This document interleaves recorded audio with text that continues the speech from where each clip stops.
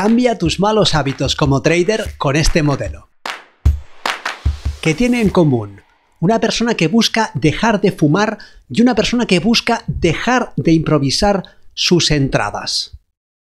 Que ambas pasarán por una serie de fases distintas antes de lograrlo. Y estas fases bien mereces conocerlas. Los psicólogos Prochaska y Di Clemente se dieron cuenta de que los cambios de un comportamiento perjudicial para la salud como fumar a uno más saludable como dejar de fumar son complejos y pasan por una serie de fases diferenciadas. Veamos esas fases porque se parecen mucho a las fases por las que deberás pasar si buscas la consistencia como trader y resulta que te descubres cometiendo errores de conducta tales como alejar los stops, improvisar entradas o salir de tus operaciones ganadoras antes de tiempo. Soy Vicente Castellano, responsable del programa de formación y entrenamiento Milenio de Trading de Futuros. Si este tipo de vídeos es de tu interés, te agradeceré que le des un like para una mayor visibilidad. Estas fases que seguimos cuando nos enfrentamos al reto de cambiar una conducta no son lineales, sino más bien circulares. Si falta alguna de estas fases, las personas suelen retornar a la fase anterior antes de poder progresar. Es decir, dan un paso atrás. Este modelo recibe el nombre de modelo transteórico del cambio y la primera etapa es la precontemplación.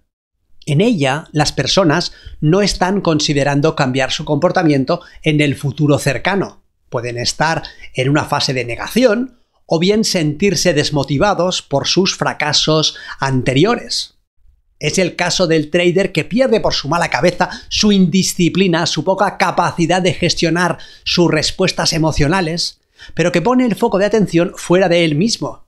En su interior cree que si sigue dedicándole más tiempo a estar frente a la pantalla, si aprende un sistema ganador, los resultados llegarán. Y no se da cuenta de que él será siempre quien deba ejecutar cualquier sistema que aprenda. La siguiente etapa es la de la contemplación. En esta etapa las personas se vuelven cada vez más conscientes de que necesitan cambiar. Consideran las ventajas y el costo de cambiar. Esta etapa puede durar mucho tiempo. Aquí el trader ya ha descubierto que sus malos resultados dependen de sus decisiones. Que si en vez de mover el stop los dejase en el lugar que define su sistema, estaría en positivo.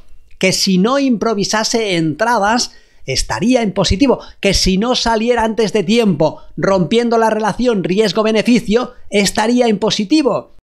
Se da cuenta de que es él moviendo la mano que aparta los stops, saltando a perseguir el precio. Y también asume que no es suficiente con saber que es él quien lo hace sino que debe ser capaz de generar un cambio. Y hay una diferencia abismal entre la primera y la segunda fase. El trader sigue cometiendo los mismos errores, pero en esta fase se da cuenta de que su falta de resultados consistentes dependen de él y acepta que no logrará lo que está buscando haciendo más de lo mismo, sino cambiando la forma que tiene de comportarse en el mercado y la relación que ha establecido con el trading. La preparación es la siguiente etapa. El individuo ha decidido cambiar, pero aún no tiene un plan sobre cómo hacerlo. En este punto, el foco debe situarse, pues, en articular el plan de trabajo que permita lograr ese resultado. Es el caso del trader que ya ha decidido asumir su responsabilidad y recorrer el camino que sea necesario para generar el tipo de resultados que busca. Ya no se limita a contemplar la posibilidad de cambiar, sino que actúa buscando el tipo de apoyo que requiere en forma de un proceso de mentorización, de un psicoterapeuta, de una aplicación para aprender a meditar o leyendo un libro. Esta etapa de preparación es crítica ya que el plan que se diseñe debe tener el potencial de llevarle a conseguir sus resultados. Es posible que el trader esté comprometido en generar un cambio, pero ignore cómo debe hacerlo. por dónde debe comenzar o con qué recursos puede contar. Si ha llegado a esta fase y logra establecer un proceso sensato y capaz, lo tiene relativamente fácil. En cambio, puede estar muy motivado y a la vez ser incapaz de articular el proceso que tenga el potencial de generar el tipo de conducta eficaz que necesita. Puede ser, por ejemplo, que él mismo no sea capaz de ver qué es lo que origina específicamente su problema de comportamiento. Puede que sepa que entra al mercado de forma improvisada, pero se da cuenta de que lo hace solamente cuando ha traspasado determinado umbral de activación emocional y por lo tanto que tal vez deba trabajar e instaurar un protocolo para manejar sus emociones.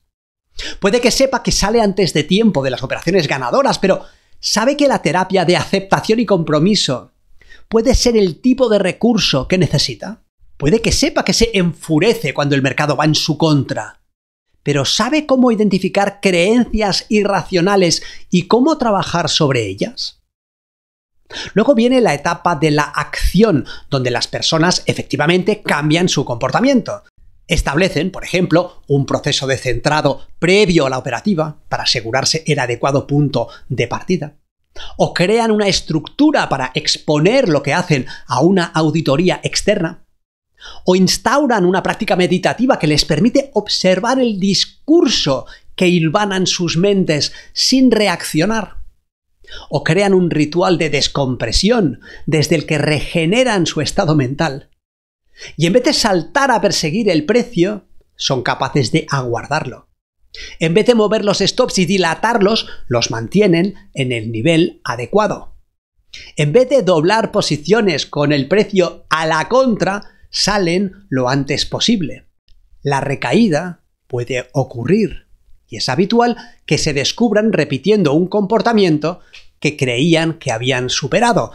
Nada terrible si se pone ahí la conciencia y se retoma el camino. Puede ayudar que el trader haya diseñado un sistema de refuerzos y recompensas que le lleven a aumentar el tipo de conductas positivas, esto es, en vez de esperar unos resultados perfectos y después premiarse, uno debería premiar los primeros pasos en la dirección adecuada.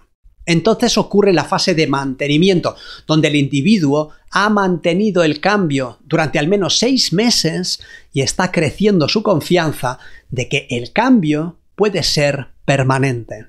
Tras ese periodo de tiempo, el trader cuenta con evidencias suficientes que validan la idea de que es capaz de comportarse a favor de su mejor interés, lo que le ayuda a remodelar su identidad. En este punto es importante prevenir las posibles recaídas y una forma de lograrlo es poniendo el foco de atención en los beneficios que se derivan de una conducta disciplinada frente al mercado.